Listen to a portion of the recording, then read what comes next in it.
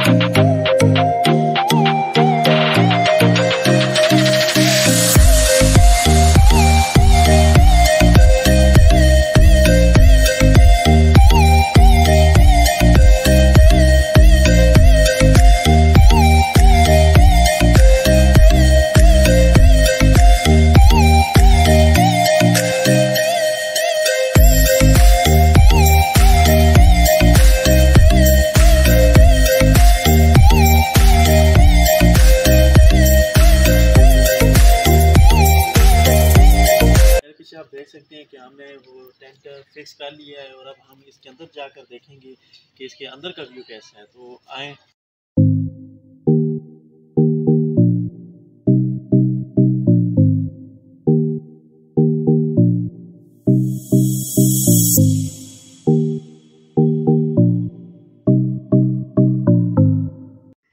जी, आपने देखा कि ये जो चाइना टेंट होता है, इसको किस तरह फेस करते हैं? तो ये थी हमारी आज की वीडियो। मिलते हैं किसी और वीडियो में, किसी और जगह पर, किसी और शुक्रिया। Thanks for watching